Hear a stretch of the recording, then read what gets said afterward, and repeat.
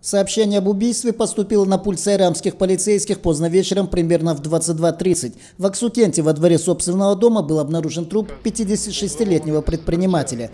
Прибывшие полицейские констатировали смерть мужчины в результате огнестрельного ранения. По факту убийства следователи возбудили уголовное дело. Ходе опроса свидетелей и родных потерпевших полицейские выдвинули версию, которая впоследствии подтвердилась, что преступление, возможно, совершено из корыстных побуждений, так как потерпевший владел большим хозяйством. В ходе оперативно-розыскных мероприятий Сотрудники Сайрамского районного управления внутренних дел задержали двух подозреваемых. Это заказчика и его сообщника.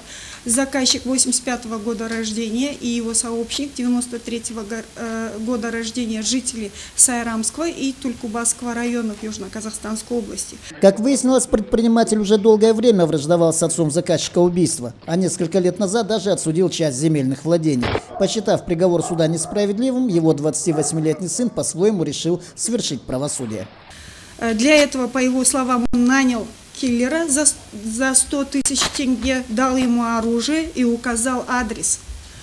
Э, в тот вечер киллер дождался жертву во дворе собственного дома, и когда потерпевший вышел на улицу, произвел выстрел в его сторону, от чего последний скончался на месте происшествия, после чего скрылся в неизвестном направлении. В отношении задержанных были возбуждены два уголовных дела по статье 96 убийства и 251 незаконное приобретение и хранение оружия. Личность третьего участника преступления, исполнителя заказа, уже установлена. Он объявлен в республиканский розыск. Даниар Худайбергенов, Антон Семенов, информационная служба телекомпании «Отрар».